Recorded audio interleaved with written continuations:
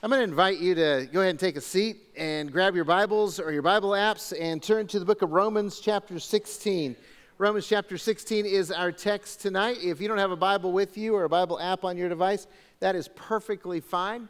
Grab one of the Bibles in the seats around you, turn to page 1130, and you will find Romans chapter 16. Uh, and as always, if you're here and you don't own a Bible, you don't have one that you can read, and you want one, then please take one of those with you. It's our gift to you. We want you to have the Word of God and read the Word of God because we know if you read it, then God will change your life. Hey, it is uh, great to be back with you. I just got to say, uh, for those of you who just got here as well, or you're visiting tonight, uh, I've been away for a couple of weeks. I've been in uh, Kenya uh, with our mission team from Calvary, and I just want you to know that uh, the, the trip was a, a, great success. We got to go and bless. Uh, about 100 plus missionaries uh, for two weeks taking care of their kids. I had the privilege of speaking into their lives, both personally as well as some teaching time. And, and so, uh, thank you for uh, you know being a church that believes in taking the gospel to the ends of the earth. And, and we had the, the privilege of serving alongside and with and blessing uh, a number of missionaries who are living in really harsh conditions. And, uh, and, so it was just an honor and a joy to, to work with them. So thanks for your support in that. Thanks for your encouragement. A lot of you have welcomed me back. And uh, yes, I'm still jet lagged, but that's okay. Uh, we'll recover. So you know, jet lag is real. Uh, and by the way, uh, we've got mission opportunities that are coming up next year. If you want to serve, if you want to travel and go and bless and do, we have lots of opportunities. There's opportunities in Thailand next July, medical missions. Uh, as, and beyond that, we've got uh, another small opportunity in Mozambique next year. We've got a trip planned to Hawaii, uh, to Idaho. We've got all kinds of ministry opportunities and, uh, and then possibly more. So uh, just if that's something that interests you, let us know. We love to keep you in the loop, love to involve you in, in one of those trips. So, uh, how do you say goodbye? How, are, you, are you a long goodbye person or a short goodbye person? Uh, how many of you are long goodbyes? Let, us see your hands. Go ahead. You you can confess. Okay. Number of you. How many of you prefer short goodbyes? Oh, a lot more of you are short goodbye people. Okay, I can relate to that. I'm a short goodbye person. Uh, that's just my natural bent, and probably short enough that it can seem rude sometimes, right? Because once you're at that point, uh, at least for me, where we're like, we got to go, we got to leave, then let's just say goodbye. You know, tell people you love them, tell them you'll see them, bless them, and then get in the car and go. You know, get the hit the road and let's leave.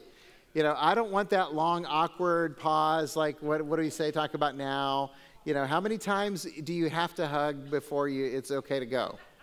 I mean, it's just, it's one of those things. So, you know, short goodbye, long goodbye. Uh, the Apostle Paul, I mean, we've been reading his letter to the Romans now for about six months. Uh, he is a long goodbye type of person, at least by his letter to the Roman church. Okay? We're talking about the Roman Christians, uh, first century, uh, just a a few decades after Jesus has, you know, left the earth after his resurrection. And, and this is the, the, chapter 16 is the final message. It's the end of the road. He's saying goodbye. Uh, it's the longest letter that he's written, and, uh, and it's honestly a long read. If, if you've read Romans 16, it, the Apostle Paul refers to 36 people by name or reference. 36 people he brings greetings to or from in this letter and it's just like a list of name after name after name after name. And it's like paul can't you just like wrap this up? I don't know at least you know that's how spiritual i am when i'm reading this. But then eh, because look you don't know who these people are. I mean if you do an intense study of church history you still don't know who half these people are because they're only listed one place and that's in the book of romans and, and he doesn't say anything about them uh, but but here's the thing in the midst of the names, he actually pauses and he adds some closing remarks that are really powerful. Romans chapter 16, verses 17 through 20 is what I want to call your attention to. a brief section that says so much as a final appeal to us. So the apostle writes I appeal to you, brothers, to watch out for those who cause divisions and create obstacles contrary to the doctrine that you have been taught Avoid them. For such persons do not serve our Lord Christ, but their own appetites, and by smooth talk and flattery they deceive the hearts of the naive. For your obedience is known to all, so that I rejoice over you, but I want you to be wise as to what is good and innocent as to what is evil. The God of peace will soon crush Satan under your feet. The grace of our Lord Jesus Christ be with you. So, once again, Paul makes exceedingly clear the priority of the mission. The priority of the mission. Uh, Paul's life was dedicated to leading people to Jesus. That, that's why he traveled, that's why he preached, that's why he taught, that's why he wrote letters. Nothing mattered to Paul but people discovering life in Jesus Christ. That's what his life was about. That's what his letter is about. And in this letter to the, uh, to the Romans, he reminds them of the priority of the mission. Now, he was so committed to this that in the letter to the Philippian church, in chapter 1, he said, To live is Christ and to die is better. To live is Christ and to die is gain. And so, in his final instructions, the apostle gives a warning of distractions. Did, did you catch that? He gives a warning of distractions. In verse 17, he says, I appeal to you, brothers, to watch out for those who cause divisions and create obstacles contrary to the doctrine that you've been taught. Avoid them. Avoid them. This is a warning. He says, Look, I don't want anything to distract from the gospel. I don't want anything to create an obstacle that would prevent people from coming to Jesus. That's what he's saying. Look, understand there are things that people do. There are things that people do for selfish reasons, for immature reasons that are going to distract you from the mission of Christ. And I don't want any of those things to hinder the work of the church, which is introducing people to Jesus Christ. And we need to hear this because it wasn't just the church in Rome that is subject to distractions. Every single church I've ever been a part of is tempted to get distracted from the mission by all kinds of things that seem good and important or really aren't important at all at the time, but they, they still become distractions. Like, for instance, theological debates can become distractions. I mean, look, we're supposed to study Scripture. We're supposed to, to make it an important part of our lives, and it should be. But I've also watched how people want to get so wrapped up in theological issues that they lose focus on the mission.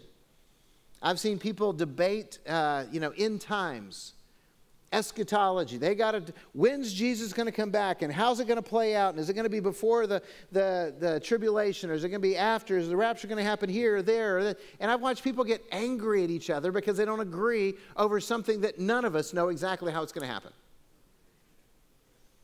And, and, then it distracts from the mission because they're so wrapped up in trying to figure out what this means and what this says, when in reality, Jesus is coming back and we win.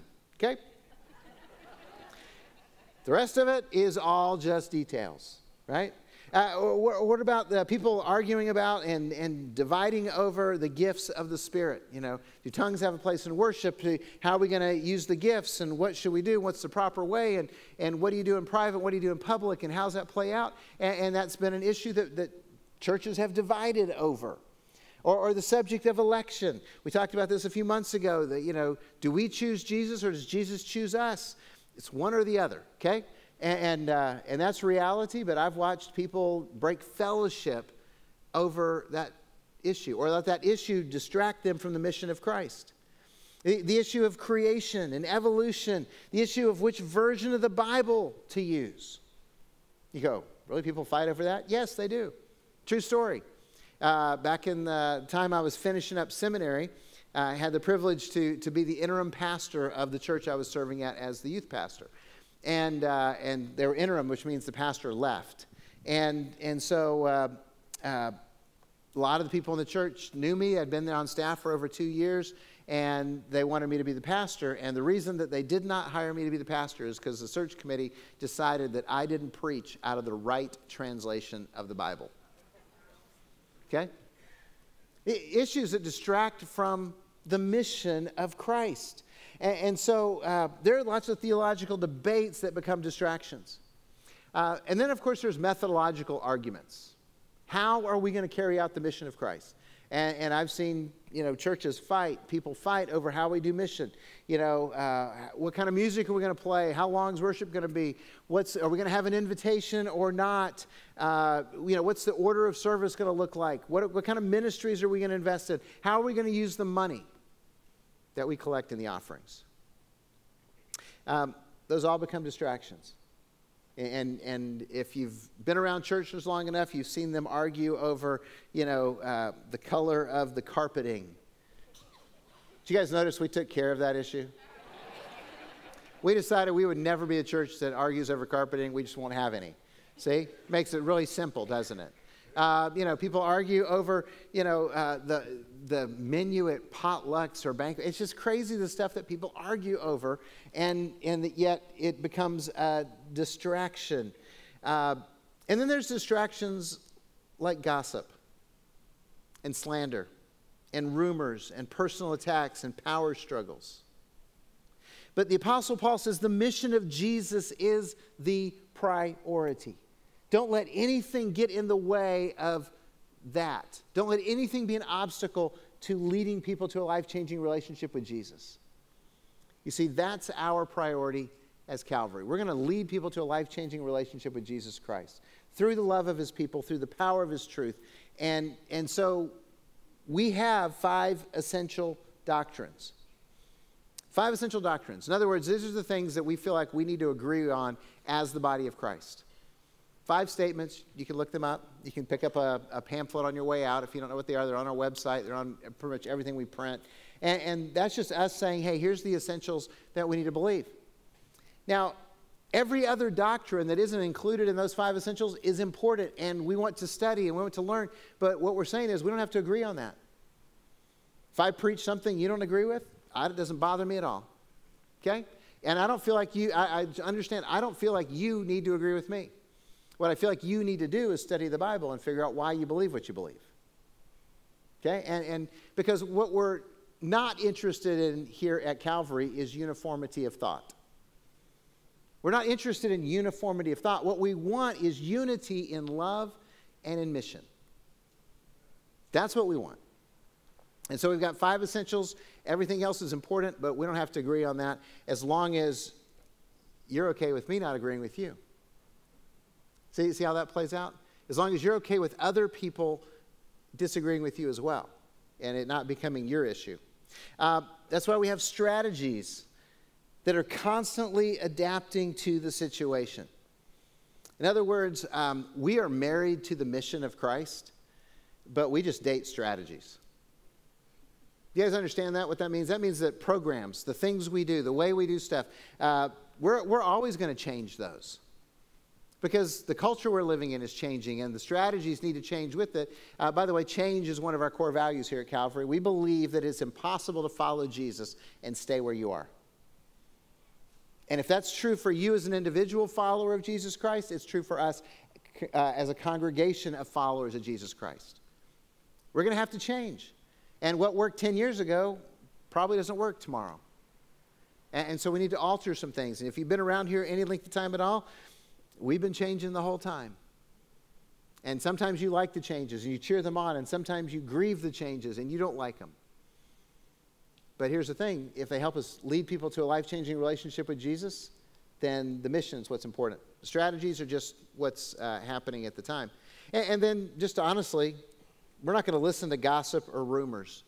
I, am just one of those rumor busters. You show up in my office and say, uh, I heard this about so and so. I'm just going to pick up the phone and call them or walk next door to their office and talk to them. Hey, I heard a rumor. Is any truth to it? Freaks people out, so they stop coming to me with rumors. We're just going to bust them. If they're true, we need to act on them, but we don't want to play this whole secrecy, private whisper thing. It's not honoring to God. So we're not going to let distractions derail the mission of Jesus because God has entrusted us with the message of hope. See, this is why we don't want any distractions because God has given to us the message that will change people's lives, that will take the hopeless and give them hope, that will take the lifeless and give them life.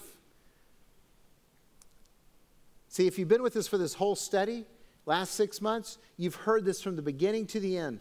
Romans chapter 1 I am not ashamed of the gospel, for it is the power of God for salvation to everyone who believes, to the Jew first and also the Greek. Romans 6 For the wages of sin is death, but the free gift of God is eternal life through Jesus Christ our Lord. Romans chapter 8 There is therefore now no condemnation for those who are in Christ Jesus. Romans chapter 10 If we confess with our mouth that Jesus is Lord and believe in our heart that God raised him from the dead, we will be saved. For everyone who calls on the name of the Lord will be saved. You see, we want every person to hear and respond to the message of hope. Every single person. That, that's our desire. We want people to know that God loves them and God rescued them and God forgives them and God promises them eternal life if they follow Jesus. So, have you heard the message of hope? Have you responded to the message of hope? Have you confessed Jesus with your mouth as Lord? Believed in Him, that God raised Him from the dead? Have you surrendered your life to Jesus? If not, what are you waiting for? And if you're sitting here and you're thinking, I, I, I, want to do that, I don't know how to do that, I need to talk with someone, our prayer team is going to be here at the front after the service. They would love to talk with you about having that personal relationship with Jesus. Pastors will be at both of the connection centers and just find us and say, hey, I want to talk to you about what it means to follow Jesus because that's what we want. We want to share that message of hope with you. And by the way, just for the record, we don't want anything to become an obstacle to this message of hope. We want you, who are followers of Jesus Christ, to be comfortable inviting your friends. We want you to be comfortable saying, hey, come to church with me. Uh, and, and you know that they're going to hear the good news and you know they're not going to be distracted by other stuff. Because we're real intentional about trying to remove obstacles from that message of hope and from you being able to, to bring that message of hope to your friends, to your family. So we do things uh, to remove the distractions. For instance, the length of the service. We're intentional about the, the service being an hour long. And some of you go, oh man, can't we just do it longer? Can't you preach longer? Can't we do more music? We could. We're not going to. Okay? You know why? because we want you to be able to invite your friends. And the first thing your friends are going to ask you when you invite them to church is, So, how long do I have to go? You know it. If somebody invites you to something, that's the, you better ask that question. Do You know, some of these dance recitals like last three days. You better find out how long you're committing for. And, and if you tell people an hour, if they're a friend of yours, I mean, almost any friend will give you an hour. You know, they'll even help you move for an hour. I just don't want to do it all day. So, you know, it's going to be an hour. The, the, the music and volume of the service is intentional. And some of you wish we'd be intentional to turn it down. And for you, we're launching a new campus venue. Actually, we're not doing it for you. We're just doing it uh, because we're out of space. Uh, but uh, because God keeps sending us people. But honestly, the new McCulloch campus, the, the venue is going to be very much like this, but quieter uh, lights a little more calm. And, uh, and, and so if you come and you always are thinking or often are thinking, I wish they'd just turn it down a little bit, we want you to go over to McCulloch and enjoy the service there. Because uh, it, that's what we're, we're targeting it for. So uh, just know that. Starting in January, that's going to be an option that you have. Or if you've invited friends and they think it's too loud, then you can just invite them again and invite them to try out that new campus, that new venue because we're going to need about two to 300 people to, to launch that, that campus off. And, and if that's what appeals to you, then, then uh, by all means, make it your place. Um, we don't welcome guests like we used to. If you were around at, at Calvary before we moved over here to Sweetwater, we used to have a stand and greet time in the service, have everybody greet each other, because extroverts like me love that stuff. And then I started reading articles and surveys saying that guests hate it. And, and yet we want our guests to be comfortable, so we just decided we'd, we'd stop doing that. We, we want to meet them. We want to welcome them. They want to meet us, but they want to be welcomed, but they don't want to be made to stand up and fake shake hands with people. So uh, we just we stopped doing it. You know, our, our kids' ministry is a priority, is a huge thing. We do that because it's about the mission. And we want to reach young families, and young families got to know their kids are being taken care of. We do that on purpose. Our casual attire is on purpose. Uh, you know, and, and some of you would be like, hey, you know, we used to dress up for church. Dressing up would be cool. And by the way, feel free to dress up if you want to. But the second question that your friends are going to ask you when you invite them to church is how long it's going to take and what do I have to wear? And we want you to be able to tell them whatever you, whatever you want. It's perfectly fine. Just like you're dressed right now is fine. And they're going to come and they're not going to feel awkward because you guys are just as casual as they are. See? It's really important. You know, it's why we serve the community, it's why we have offering boxes. Because we don't want to be a distraction to the gospel. We want the message of hope to be able to penetrate people's lives so they can hear it and they can receive it and they can act on it and, and they can become followers of Jesus Christ as well. So we begin with the priority of mission. We want to be intentional to remove distractions so we can amplify the message of hope. And then we conclude with the promise of victory. The promise of victory. Did you catch this? This is so cool.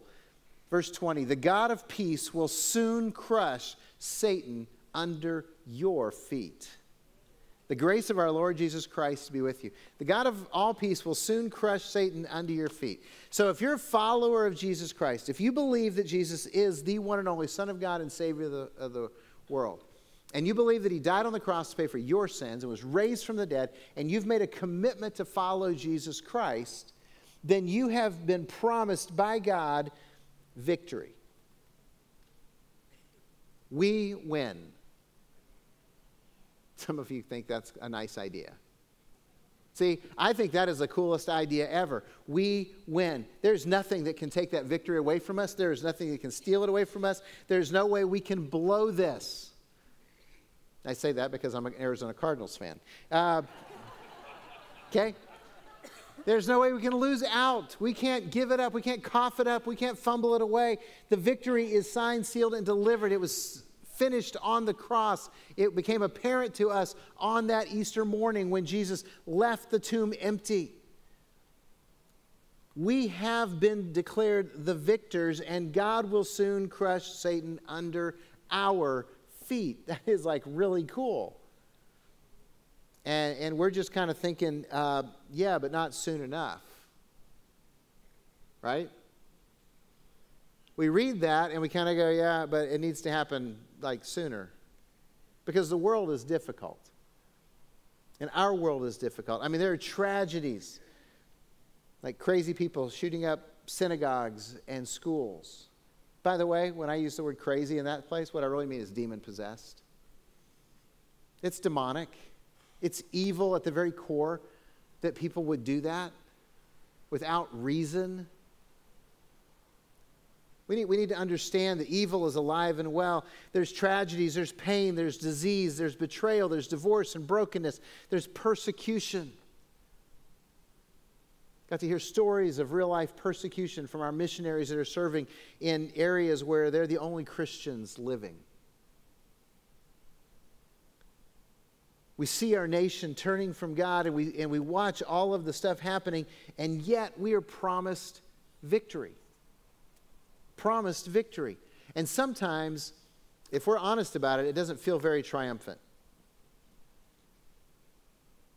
Uh, you know, sometimes you read the news, you watch what's going on, you see how, how the world is, you experience tragedies personally, and you don't feel very triumphant. You're kind of going, when's it going to happen, God? You promised to crush Satan under our feet, but when's it going to happen? So, this is the question that it really kind of begs How do we live in victory when we see so much defeat? How do we live in victory when we feel defeated? Or maybe sometimes you're just thinking, who's crushing who? Honestly, there's no easy answer. There is a lifelong process that makes the promised victory more of a present reality in our lives. Uh, it, we're talking about habits that we engage in that change the pattern and direction of our lives. And uh, there's not a magic word, there's not a simple fix, there's not an easy button. But if you apply consistently these habits to your life, your life will be different, even triumphant. So I want to share with you four phrases uh, so you can remember them, so that you can use them as a, as a test for your life to see if you're moving in the direction of victor, victorious living or triumphant living. So uh, these are markers or, or a checklist uh, that I think are the, the things that are necessary if we're going to live in that victory that we've been promised. First one is you got to love God. We know the great commandment you shall love the Lord your God with all your heart, soul, mind, and strength. Okay, that's, that's the great commandment. That's what Jesus gave. He said, Hey, here it is. This is the first and greatest commandment. And, and everybody nodded their head because they understand that. And we understand that, that we've got to love God. If we're going to have victory, then we've got to love God. So this is about your relationship with God. If you're a follower of Jesus Christ, you already have a relationship with God, but are you paying attention to that relationship? Are you nurturing that relationship? Because you can't live in the victory unless you're getting closer to God. Which is why worship is so important. Is it a priority in your life? It's why praising God is so important. Thanking God is so important because that practice of praising God and thanking God for the blessings and, and recognizing them and, and naming them gets you closer and closer to God. It's why prayer is so significant. You talking with God, bringing your needs before God, asking God to meet your needs, asking God to bless the people around you, even your enemies. Because that's about relationship with God. Celebrating redemption and forgiveness and eternal life is part of that relationship with God where you acknowledge the victory rather than complaining about the momentary setbacks. If we're going to live in the victory that God has promised, we have to love God and we have to learn the Bible. We have to learn the Bible. The very first psalm, uh, I love it. It says, Blessed is the man who does not walk in the counsel of the wicked or stand in the path of sinners or sit in the seat of mockers, but in his law is his delight. In God's law is his delight, and on it he meditates day and night. And because he does that, he is like a tree that is firmly planted by streams of water that yields its fruit in its season and its leaf doesn't wither. In everything he does, he prospers. That's an amazing promise of God that, that overlays how we live our lives. And, and this is all about wisdom. You can't have victory in your life unless you know and live the truth of God. Now, we're, we're just wrapping up a 50 day Bible reading uh, challenge. Okay? 50 days ago, we challenged you, and, and here we are at the very end of it. And, and how many of you have, have made it? Okay, praise God. Now, some of you didn't make it, and, and some of you finished it, so here's the challenge do it again. Do it again. You go, I just read it. Really? Can you, do you remember what it said? If I just pull a chapter out, and can you tell me about that chapter? Besides 1 Corinthians 13. Can, you can you tell me about you know, what it said in that chapter? Read them again. Or if you don't want to read them again, then read the Gospel of Luke and follow that up with Acts. That'll get you through the end of the year pretty much. In other words, have a plan, absorb Scripture into your life. You've got to learn what it says, you've got to put it into practice. It's just, it's, a, it's a discipline that, that we need because we can't be free unless we know the truth. Satan's power over us is predominantly lies. Know the truth. If you want to be free, know the truth. So love God, learn the Bible, live the character of Christ. Live the character of Christ. Did you notice what he said at, at, verse 19? For your obedience is known to all, so that I rejoice over you. Your obedience is known. They're living out the character of Christ. James chapter 1 verse 22 says be doers of the word and not hearers only and so deceive yourselves. It doesn't honestly it doesn't do any good to know the truth if you don't apply the truth to your lives. And so we need to live the character of Christ. Character is so important. It's one of our core values here at Calvary. We believe that you cannot represent Jesus unless you reflect his character. Without character, we just become hypocrites who become obstacles or distractions to the message of hope. So, character, it's how you treat people, right? Because love the Lord your God with all your heart, soul, mind, and strength is the first and great commandment. The second is like it love your neighbor as yourself. All the law and the prophets hang on those two. Okay, that's the summary. Jesus said, You want to please God? Love Him, and then love people like He loves them. So, how do you treat people? How do you treat your family? How do you treat your coworkers? How do you treat your customers? The people who wait on you in the restaurants that you're going to go to after the service. You know, the, one of the things that I was most proud of was uh, at the end of our mission trip, uh, the missionary who had invited us to come and, and help them uh, sat down with us. We were just talking through it, and, and he said to uh, the leaders of our, our kids group, and, and I was there, and I, I just got to hear it. And his, he said, You guys were, were so professional and so spiritually mature in difficult situations, and he just wanted to commend them. You know what that is? That's character. That's character. They lived out the character of Christ in difficult situations. And if we want to live in victory, then we've got to live the character of Christ. So we love God, we learn the Bible, we live the character of Christ, and we lead people to a life changing relationship with Jesus. Can't really experience victory unless we're involved in the mission of Jesus Christ. I mean, why would we expect God to lead us to live triumphantly if we're ignoring His priority? I mean, wrestle with that. If you're ignoring God's priority, then why is He going to bless you with triumphant living? See, so who are you leading toward Jesus? Are you leading your family toward Jesus? You know, are, are you leading your spouse toward Jesus? Are you leading your kids toward Jesus? I mean, I know you love your kids, uh, and, and, I'm just going to say this. I love the fact that a lot of families are focused on building memories these days by doing cool things, fun things, trips, and stuff like that. I did a lot of that in my life as well when my, my girls were younger. Um, but here's the thing you know what's more important than building memories? Building character. Character instructing them in the things of God and, and making you know, your commitment to Christ a living reality in their lives? Are you leading your friends toward Jesus? Have you even invited them to come to church with you? Your coworkers, your neighbors, other parents at the school or the sporting events. And, and by the way, I'm just going to say this our next great opportunity to do that is Wednesday night down on Main Street for Halloween. And some of you are thinking, oh, we don't need to help with that. Our kids are grown. Perfect.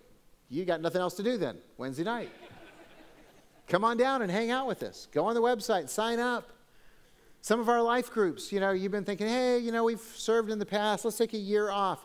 Why? Why would you take a year off? Why would you say, hey, you know what? We love people normally, but we're going to skip this year loving people on Halloween? We're just going to take it off. I'm, and, and, and, and honestly, and I'm sharing this because we've got about half the people signed up to help with Main Street that we had last year. And, and as a pastor, that just irritates me. I don't know what else to say because I'm going like, why? Why did we suddenly decide that serving isn't a priority when it's a priority to Jesus? Because when you're down there, you're blessing people, and you might think, hey, this is not really important, but it really is because we've had a, a ton of families that have come into our church when we first met them on Main Street. Because they see us loving their children. They see us sugaring their children up ridiculously. They see us being generous with candy and caring about their kids with no agenda. And sometimes it leads to a God conversation, and that's really cool, but it almost always leads to being able to invite people to come be a part. So I'm just going to challenge you. If, if you think, uh, hey, I'm just taking a, a, a year off or our life group's going to pass this year, repent. And, and jump in and, and go to the website and sign up and say, hey, I want to serve, I want to help, I want to be a part of this. Because if we're going to really live in victory, then we've got to lead people to a life changing relationship with Jesus. So, four things love God, learn the Bible, live the character of Christ, lead people to Jesus. That's how to see the promised victory become more of a present reality in your life. Choice is yours. What are you going to do with it? Let's pray.